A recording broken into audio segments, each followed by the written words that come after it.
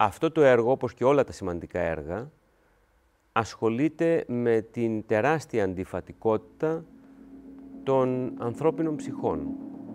Τίποτα δεν είναι αυτό που φαίνεται.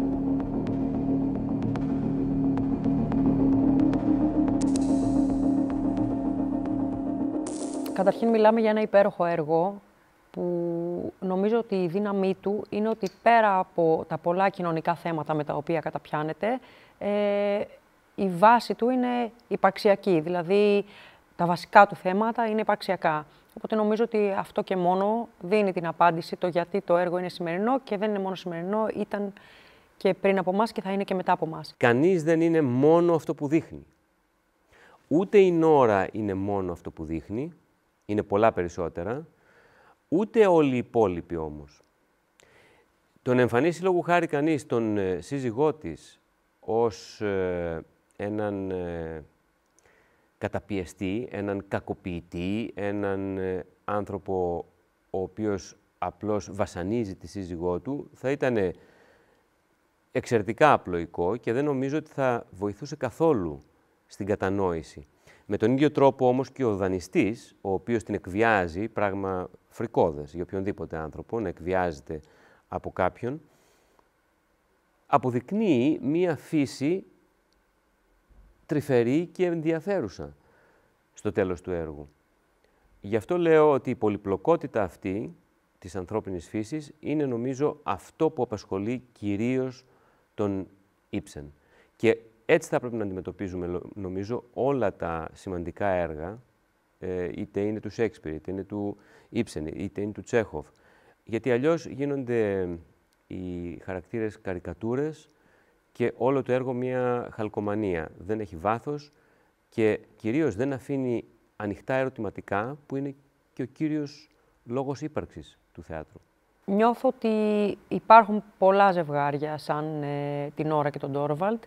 Ε, αν έπρεπε να χαρακτηρίσω τη σχέση τους, θα έλεγα ότι είναι μια σχέση η οποία είναι σαν, σαν να έχει πεθάνει, σαν να συντηρούν ένα γάμο ε, που ενδεχομένως κάποτε ήταν ζωντανός, κρατώντας όμως μόνο τα σχήματα των προσώπων, μόνο τους ρόλους που παίζουν τα πρόσωπα και σαν αυτοί οι ίδιοι να έχουν μείνει έξω από αυτό το πράγμα. Ε, νιώθω ότι γύρω μας, αν κοιτάξεις, υπάρχουν πολλά τέτοια ζευγάρια ε, και το φοβερό για μένα είναι ότι ενδεχομένως τα ζευγάρια αυτά δεν το συνειδητοποιούν, όπως άλλωστε συμβαίνει και στο ίδιο το έργο. Η πιο συγκινητική στιγμή του έργου για μένα είναι όταν η Νόρα προσπαθώντας να, να ξεφύγει από όλο αυτό που την πιέζει, χορεύει έναν χορό. Ε, και μοιάζει ότι είναι ένας χορός που από αυτόν εξαρτάται η ζωή της. Ε, είναι κάτι που με συγκινεί πολύ το ότι βρίσκει μια τέτοια διέξοδο να εκφράσει ότι συμβαίνει μέσα της. Και η πιο επώδυνη στιγμή του έργου για μένα είναι όταν ο Τόρβαλτ ε, μένει μόνος του σε μια άδεια σκηνή, σε μια παράσταση, μια ζωή που έχει τελειώσει. Ε, νομίζω ότι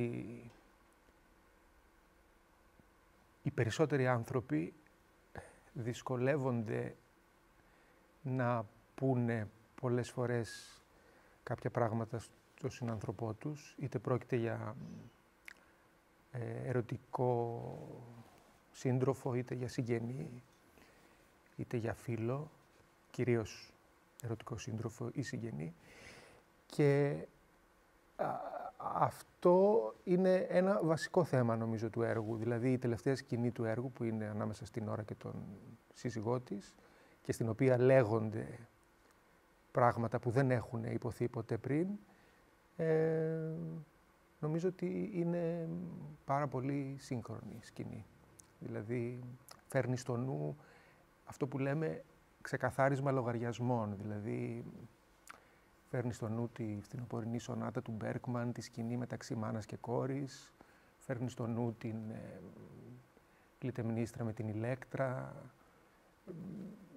ξέρω εγώ, το, στον πατέρα του Στρίμπερκ, τον ε, σύζυγο με τη σύζυγο, που έχει κάτι πάρα πολύ συγκινητικό. Δηλαδή, ακόμα και παντρεμένος να μην είσαι, όταν βλέπεις αυτή τη σκηνή, έχεις νομίζω μια άμεση συναισθηματική ανταπόκριση.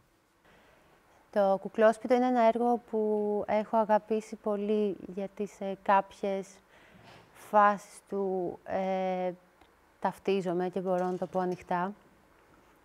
Ε, κάνω τη μουσική. Σκοπός της μουσικής είναι να, ακολουθούμε, να ακολουθώ την ψυχολογική ε, πορεία της Νόρας. Η κυρία Λίντε αποφασίζει να συγχωρέσει τον Κρόκστατ γιατί τον καταλαβαίνει. Γιατί, όπως λέει και η ίδια, κατανοεί που μπορεί να οδηγηθεί ένας άνθρωπος από απελπισία όπως αυτός.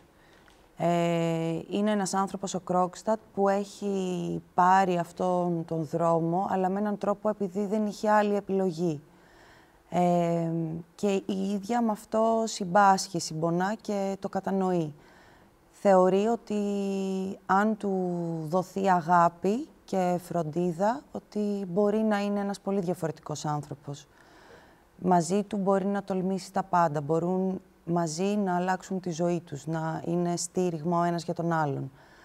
Ε, είναι σαν να δίνεται μία δεύτερη ευκαιρία. Δύο άνθρωποι που στο παρελθόν για κάποιους λόγους δεν κατάφεραν να είναι μαζί, τώρα σε μια πιο όρημη ηλικία και αφού η ζωή τους έχει ποδοπατήσει, ε, ο ένας θα σταθεί στήριγμα στον άλλον για να παρηγορήσουν, να βρουν παρηγοριά στην ύπαρξη μαζί. Στο συγκεκριμένο έργο στο κουκλόσπιτο, εγώ παίζω το ρόλο της Ελένης, που είναι η υπηρεσία του σπιτιού και νομίζω ότι όλοι πιστεύουν ότι είναι απλά η υπηρεσία, είναι η νταντά των παιδιών, η οποία παρακολουθεί και δεν αντιδρά σε τίποτα. Η Ελένη όμως νομίζω ότι είναι ένας ε, δυνατός άνθρωπος που τα βλέπει όλα, βλέπει τις ενέργειες ε, και ως κοφή μάλιστα ε, έχει πολύ μεγάλη αντίληψη όλων όσων γίνονται γύρω της, από τις εικόνες και από όλες αυτές τις ενέργειες που αντιλαμβάνεται από τους ανθρώπους του κουκλόσπιτου, την επηρεάζουν απόλυτα ε, και νομίζω ότι η ίδια έχει απόλυτη συνείδηση του τι συμβαίνει στο συγκεκριμένο σπίτι. Ε, ναι, πιστεύω στην ε, αναμορφωτική δύναμη της αγάπης, ε, φυσικά. Ε, βέβαια, ο Ήψεν αυτό το πράγμα το συμπυκνώνει μέσα σε λίγα λεπτά και εντάξει, αυτή είναι και η, η, η ιδιότητα, ας πούμε, του θεάτρου να, να πυκνώνει την ίδια τη ζωή σε λίγα λεπτά ή σε ένα πολύ μικρό χρονικό διάστημα. Ε, αυτή η αναμορφωτική δύναμη της αγάπης βέβαια έχει μια διαδικασία αργή και επώδυνη.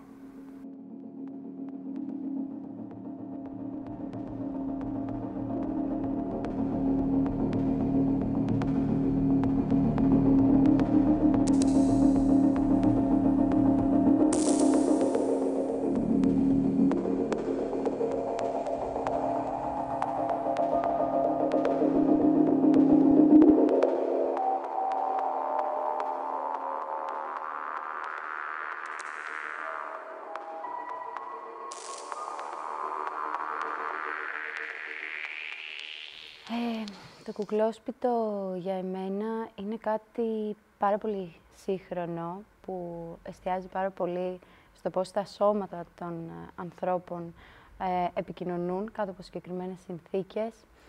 Ε, αυτό στο οποίο, το πράγμα στο οποίο έδωσε ιδιαίτερη έμφαση είναι το πώς ένα σώμα το οποίο ουσιαστικά καταπιέζεται ε, μέσα σε μια συνθήκη κουκλόσπιτου ε, μπορεί σταδιακά ε, να αποδομηθεί, να γιωθεί, να γίνει κάτι πολύ natural, κάτι πολύ φυσικό, το οποίο συνάδει πάρα πολύ με το ψυχισμό ε, της Νόρας ε, καθ' όλη τη διάρκεια του έργου.